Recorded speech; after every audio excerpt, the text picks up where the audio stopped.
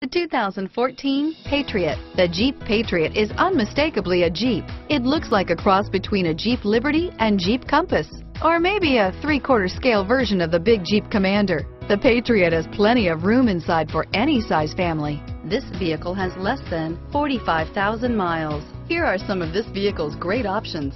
Stability control, premium wheels, traction control, anti-lock braking system, dual airbags, air conditioning, front, adjustable steering wheel, driver airbag, power steering, cruise control, four-wheel ABS, front floor mats, rear defrost, FWD, premium sound, AM FM stereo radio, passenger airbag, child safety locks, side head airbag, MP3 player. This isn't just a vehicle, it's an experience.